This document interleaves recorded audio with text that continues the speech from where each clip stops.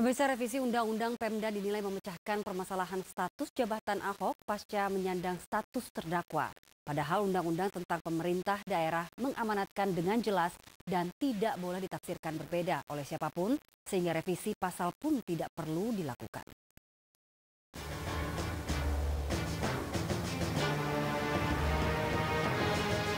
Desakan pencopotan Gubernur DKI Basuki Cahayapurnama atas statusnya sebagai terdakwa tidak lagi digubris oleh pemerintah.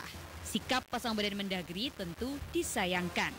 Apalagi penyataannya dalam rapat bersama Komisi 2 DPR yakni sinyalemen ingin merevisi pasal 83 Undang-Undang Pemda yang seolah-olah justru mengakomodir Ahok. Akhirnya Bapak Presiden memerintahkan ke saya, coba Pak Mendagri didiskusikan dengan teman-teman DPR pasal 83 itu mau konkret saja lah. Misalnya terdakwa, titik. Ya.